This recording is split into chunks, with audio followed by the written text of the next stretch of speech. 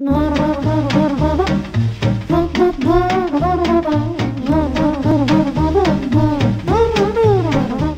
I learned how to skate backwards.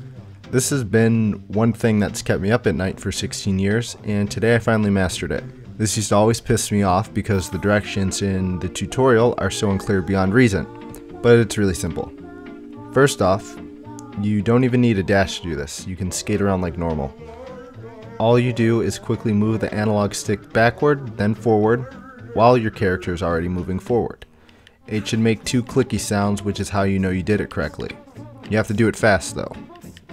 Make sure you're already holding the analog stick forward, then just move it backward, then forward.